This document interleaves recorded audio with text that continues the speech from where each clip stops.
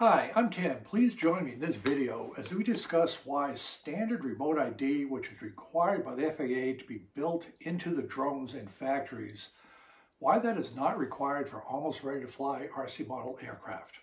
Let's get to it.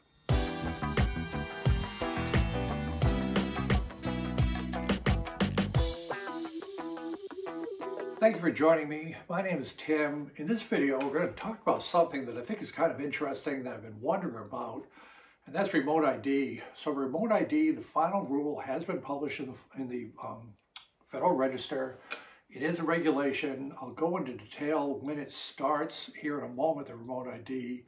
I'll go into some differences that are important to understand between standard remote ID built into the factory and broadcast remote ID, which is a module and how that might affect you as an RC pilot.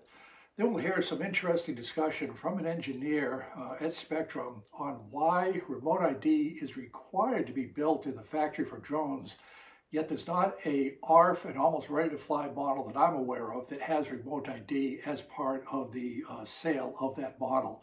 You're required to buy a module. So as always, uh, thank you for likes and subscribes. They help the channel tremendously. Also, if you want to jump ahead to various sections, there is a timeline down below.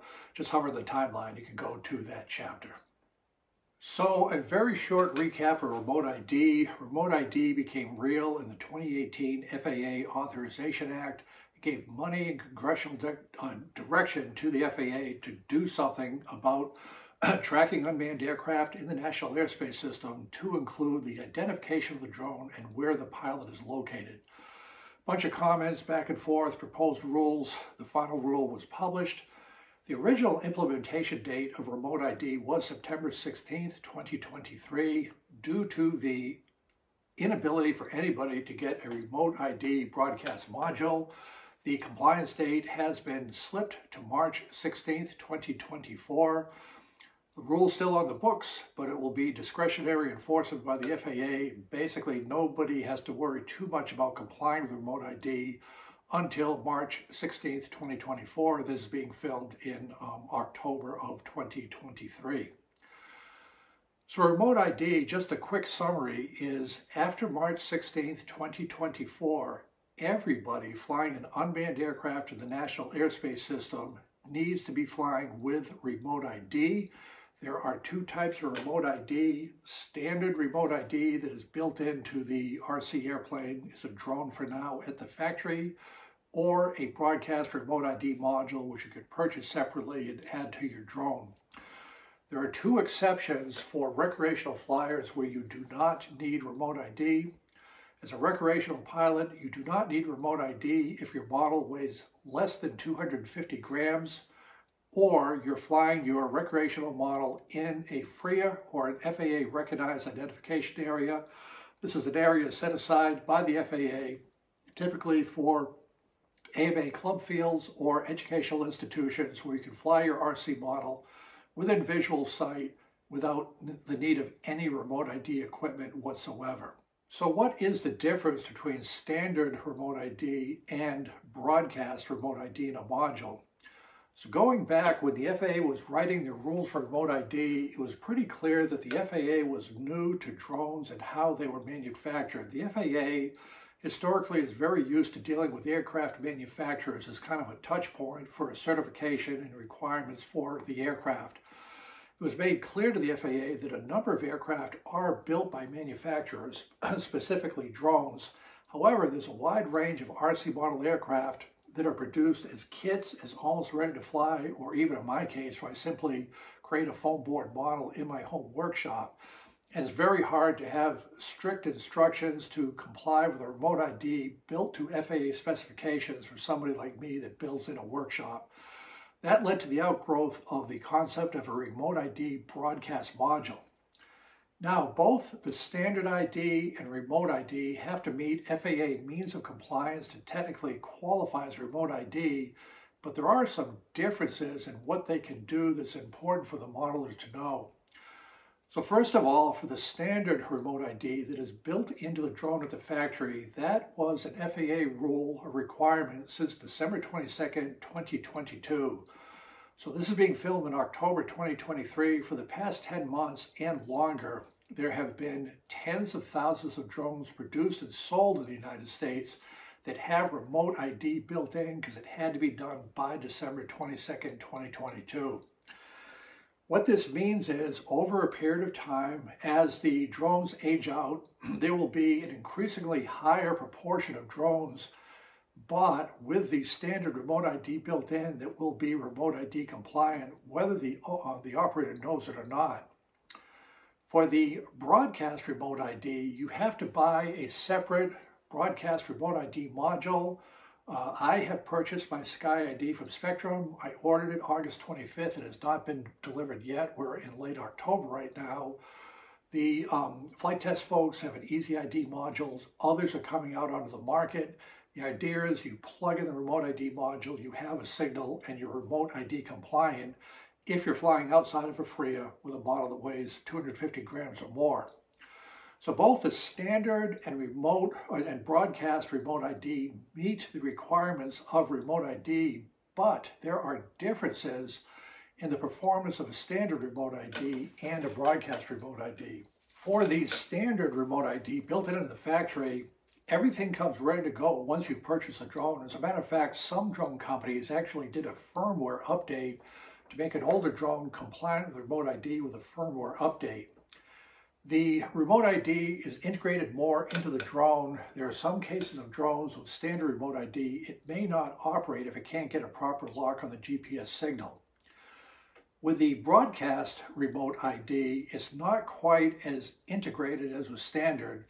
And so what will happen is with the broadcast remote ID, you're not allowed to do uh, beyond visual line of sight operations, and you're just not allowed to do it and there are limitations to operations over people with broadcast ID that don't exist with the standard ID. So there are some similarities and differences over what the standard and broadcast remote ID transmit to, um, to, to somebody receiving the signal. Now, what is common with both the standard and broadcast remote ID is the drone identification, location, the altitude, the velocity, and a time mark. However, there are some, uh, there's, there's two important differences between standard and broadcast uh, remote ID. With a standard ID, it gives the control station location. With a broadcast module, it gives the um, takeoff location. What happens with standard remote ID, there's a dynamic updating between the drone and your um, the location of the pilot. That's why it calls it the control station location. For example, with a standard drone, if you're flying on one side of a football field and you walk over to the other side of the football field while you're doing your drone flight, that dynamic upgrading, the um, updating, the control station location, you moving to the other side of the football field is updated if somebody is trying to determine that drone's pilot location. With the remote ID broadcast module, it's just the takeoff location. It does not dynamically update. If in this previous case, you relocate to the other side of the football field, the broadcast remote ID doesn't know that. It just is not capable of doing that. The other slight difference is the drone ID. For a standard ID built into the factory, you could have a session ID or the uh, drone identification for the broadcast, it is the module ID that identifies it. The FAA is still working on exactly how they're going to handle the session ID. That's not finalized yet. That is another difference between the um, standard remote ID and the broadcast uh, remote ID. And again, to summarize, remote ID will be the law of the land after March 16th, 2024. Everybody flying a recreational drone, 250 grams or over, outside of a FRIA will need remote ID. Remote ID is a standalone ruling from the FAA. It has nothing to do with whether you're flying in controlled airspace or uncontrolled airspace. It is just a remote ID requirement.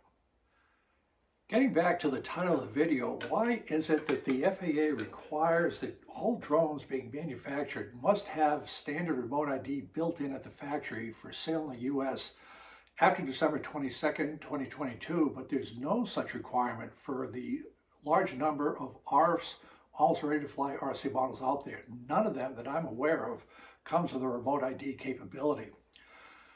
So back in the summertime, there was an interesting discussion on one of the chat groups of a engineer at Spektrum who was developing the Sky ID system and he gave some background from his company experience and with other distributors about why this is so. So I'm going to read from him.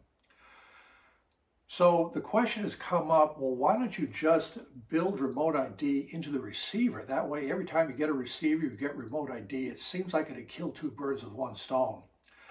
The engineer replied, unfortunately, remote ID cannot be built into the receiver or included in models for free the components hardware is required to make this work cost as much or even more than those required to manufacture a typical six-channel receiver with stabilization. This is about the August uh, 2023 timeframe. And so the reason Spektrum is offering it is because the FAA is requiring it. They want to offer a solution to people that need and um, want to comply. Of course, whether or not you comply with the remote ID is completely up to yourself. I will be complying with the remote ID. Also, remote ID is not required to be included in any of the models we sell unless those models weigh 250 grams or more, and, and this is the important point, are full ready to fly, which means they include everything needed to fly that model in one box, including a transmitter, a battery, and a charger, which is very common with drones. It is very common to buy an ARF without a receiver, without a transmitter, without a battery, without a charger. You can put those in on your own. So the engineer continues, we stopped having any such, quote, full, ready-to-fly models manufactured in the middle of last year. Otherwise, I'd have to increase the remote ID with that model and the price would go up $100 or more. So what the manufacturers do is they offer a ready-to-fly basic. It might include a transmitter, no battery, no receiver, and so forth. But they, because they are not everything needed to fly, they do not, per the FAA, require a remote ID. These have various terms, bind and fly basic, plug and play, almost ready to fly. The bottom line is if not everything is there, they are not required to be sold with remote ID. So the only way to be remote ID compliant with models like this is to buy the standalone module like the Sky ID if you're flying outside of a FRIA to be remote ID compliant after uh, March 16th, 2024. Remember also that if you're flying Part 107, each one of your Part 107 aircraft will need its own remote ID module. That's, that's a lot of modules. If you're flying recreation, recreationally, however, the good news is you just need to buy one module and swap it out between your aircraft. Uh, some people have said that this is a burden. I agree it's kind of a pain in the neck to do that, but we are used to swapping out batteries between flights with um, extensions to your receiver, and uh, the remote ID module hatches. It should not be too much of an issue to swap the remote ID broadcast module between models as you fly if you're flying outside of a FRIA. Remember, if you're in an FAA recognized identification area, which should be the majority of AMA clubs out there, you do not need any remote ID equipment whatsoever to fly um, once you're flying in a FRIA. That completes my discussion of why you don't uh, have remote ID coming from the factory if you're almost ready to fly models. It's just a way to save money. I believe remote ID is going to be pretty much a non-event. It's just another piece of equipment. This time we're required to buy it instead of choosing to buy it like with a gyro or something of that nature. Just go ahead, if you're flying in a FRIA, nothing has changed outside of a FRIA. You need the remote ID module. Prices will come down over time, I am sure, on the remote ID modules. I can see the day sometime, somewhere, where that remote ID capability will be, be built into a receiver, and then it just becomes a normal part of our flight operations. Remote ID is foundational to fully integrated operations in the National Airspace System between manned and unmanned uh, aircraft.